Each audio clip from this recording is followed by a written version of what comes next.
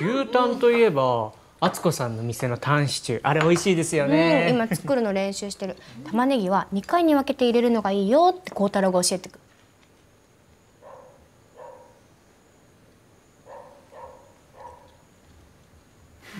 うまみんな気を使ってくれてありがとう。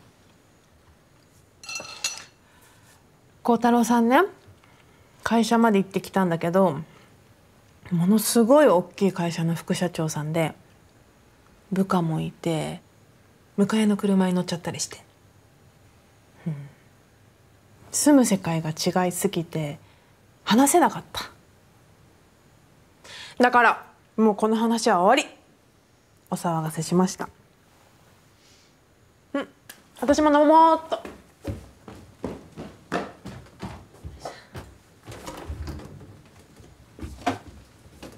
おねおしまいって。